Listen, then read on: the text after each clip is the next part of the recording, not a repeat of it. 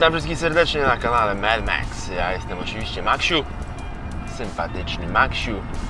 Witam Was o pięknej porze.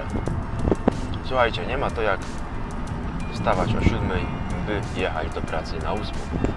Jest to po prostu przezajebiste uczu- uczucie, nie ukrywam. Ciężko było mi się przyzwyczaić, muszę Wam powiedzieć. Bo jak mieszkałem bo jak mieszkałem w, Szczecinie i tam pracowałem w takiej restauracji Bachus.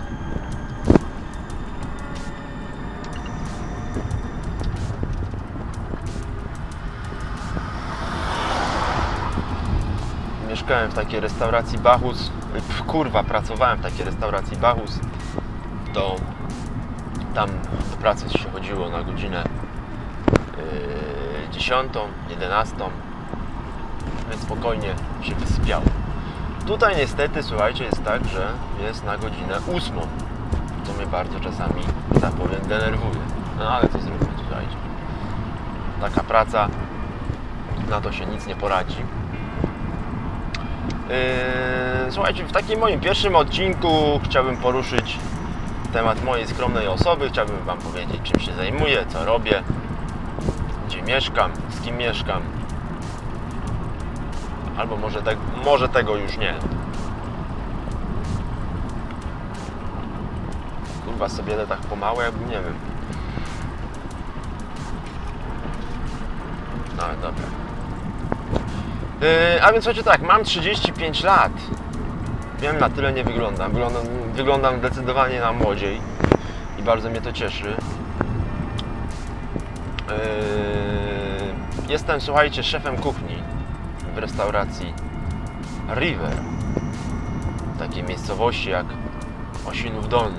To jest dokładnie koło samej granicy, słuchajcie, niemieckiej. Ja do granicy z Niemcami mam dosłownie 5 minut. Jakbym jechał na przykład, chciałbym sobie pojechać do Szwed. Taka miejscowość jest. Szwed. To mam do Szwed jakieś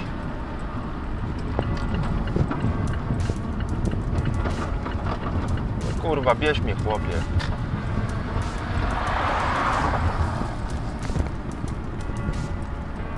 Jakieś podziękowanie? No właśnie. No, do Szwed mam, słuchajcie, taka miejscowość jest niemiecka, Szwed, taka nawet dość spora. No do Szwed mam samochodem, o nie kłamiąc, 10 minut. A więc słuchajcie, mieszkam jedną nogą kurwa po stronie niemieckiej, drugą nogą po stronie polskiej. Yy, taka miejscowość, słuchajcie, jak Piasek. To jest zachodnie pomorskie. Taka wioska.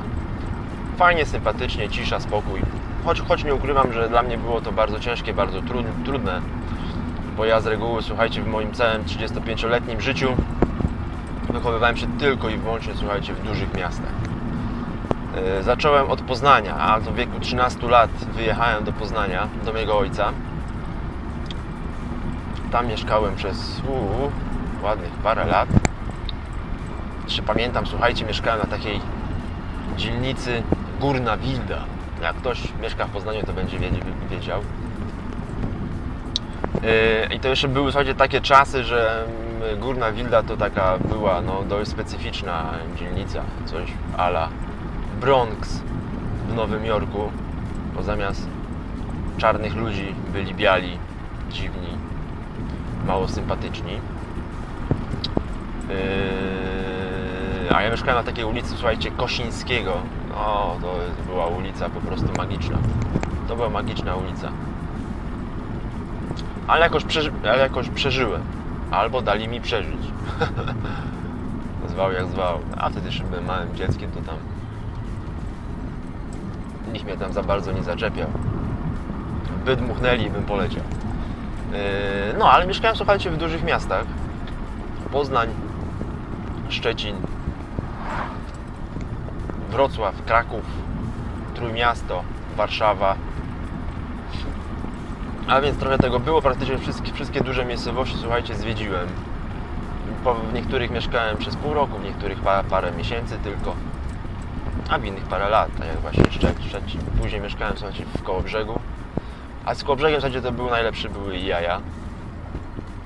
wiadomo, słuchajcie, no Kołobrzeg kojarzy się tylko i wyłącznie z Sunrise'em, zajebistymi wakacjami. Zaraz, czekajcie, bo tu kurwa jest taki myczek fajny. Dobra. Yy, kojarzy się Sunrise'em, tam zawsze jeździliśmy, słuchajcie, właśnie na Sunrise. Yy, albo po prostu na wakacje się tam jeździło, prawda? No i muszę Wam powiedzieć, że, że zawsze myślałem, że po prostu Kołobrzeg to jest po prostu mega zajebiste miasto. Że tam po prostu mieszkać przez cały rok. To jest po prostu poezja, nie? No To jest po prostu poezja. Że tam ludzie po prostu mają zajebiście. A jak już się tam, słuchajcie, wprowadziłem i wakacje minęły, zaczęła się jesień, zima, to muszę Wam powiedzieć, depresja, depresja, słuchajcie, murowana. Naprawdę. Tam po prostu, dla, dla mnie Kołobrzeg, słuchajcie, po sezonie, to jest taki żywy cmentarz po prostu. No, to jest niestety moje skromne zd- zdanie. Wszystkich kołobrze, kołobrzeżanin przepraszam. Kołobrzeżan? Kołobrzeżan, przepraszam. Ale to, to, to tak mniej więcej odczuwałem ten klimat tego koło brzegu. Tam po prostu się nic nie dzieje poza sezonem. Kompletnie nic. Tam wychodzą z cmentarzy ludzie, takie zombie i po prostu żyją, słuchajcie. No. To tak mniej więcej wygląda. A jak się sezon zbliża, to te zombie się chowają z powrotem i po prostu jest już lepiej, nie? Jest już lepiej. No i co? I słuchajcie, y, pracuję jako szef kuchni. Nie wiem, czy już to mówiłem. Pracuję jako szef kuchni. Mam pod sobą, słuchajcie, siedmiu, ośmiu ludzi. Nie ukrywam, że czasami jest mega ciężko. Mega ciężko. Yy, ale jakoś sobie, słuchajcie, radzę. W zawodzie pracuję już 9 lat. 9 lat ciężkiego, słuchajcie, zawodu, bo nie ukrywajmy, że gastronomia do lekkich zawodów nie należy. Nie mówię, że jest to jeden z najcięższych zawodów, ale jest ciężki. Jest ciężki. Jak ktoś po prostu nie kocha gotować, nie lubi stać przy garach, to musi być po prostu makabryczna udręka dla niego, naprawdę. Natomiast jeśli ktoś kocha gotować, lubi gotować, lubi się uczyć, to to dla niego będzie, słuchajcie, może nie tylko i wyłącznie przyjemność, ale daje, da sobie spokojnie, słuchajcie, radę. A więc tak to mniej więcej u mnie wygląda. Tak sobie teraz żyję ciężko jest czasami. Czasami chętnie bym się wyrwał na przykład tak do Szczecina, wiecie, tak zobaczyć tramwaje, autobusy, ludzi, gwar, szmery dużego miasta. Lecz no niestety nie jest mi to na razie dane. Choć planuję, już niedługo mam urlop pięciodniowy i planuję ruszyć z młodym, a więc z Kubą, a do Szczecina, tam do mojej siostry, będziemy sobie jeździć na kładach. To też Wam pokażę. I sobie spędzimy troszeczkę z, da, z, da, z dala od wsi. Żeby tak się po prostu, słuchajcie, zrestartować troszeczkę w tej swojej głowie. Yy, no, no i co jeszcze mogę o sobie powiedzieć? No właśnie nie wiem. Jestem zajebisty, fajny wesoły, skromny, śmieszny, dowcipny, inteligentny na swój własny sposób. Tak, na swój własny sposób. No i tyle. Zapraszam Was na kolejne odcinki samochodowe Pitu Pitu, bo tak właśnie postanowiłem, że się to będzie nazywać.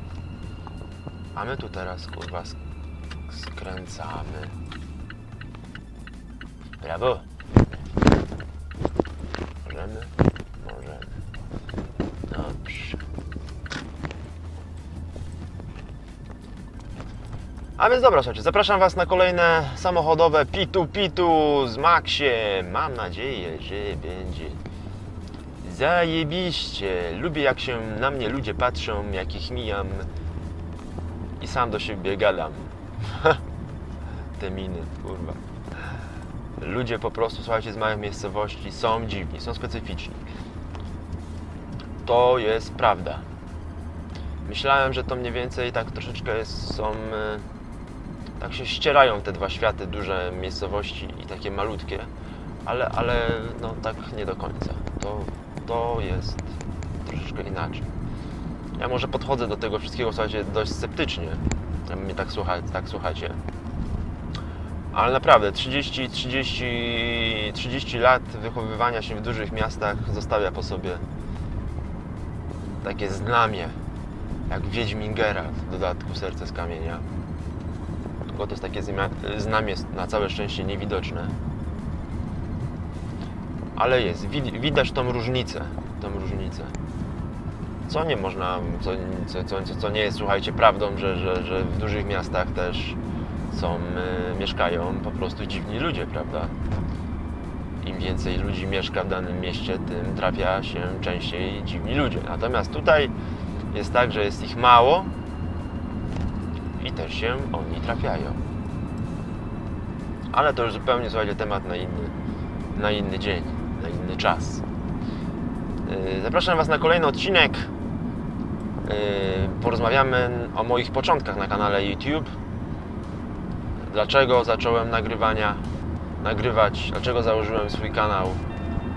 Kto był takim prekursorem tego wszystkiego, że Maksiu postanowił nagrywać. Nagrywać. O, weź mnie, weź mnie, kurwa, weź mnie. Ech. Się spieszy. Maryś. Dobra, hejka. Trzymaj ta się tam za majtki. Nie daj ta się dzisiaj, tym całym kurwa dziwnym dniu. Niby słoneczko jest, choć zapowiadają kurwa deszcze, tajfuny, wybuchy wulkanów. Zobaczymy jak to będzie. Mnie zawsze, słuchajcie, cieszy jak są deszcze, bo przynajmniej mniej, mniej klientów jest, jest mniej roboty. Taka, spe, taka spe, specyfika, słuchajcie, pracy. No ale zobaczymy, jak ten dzień się, słuchajcie, potoczy. Ja życzę Wam e, zajebistego dnia. Pozdrawiam serdecznie. Do usłyszenia. Pa, pa.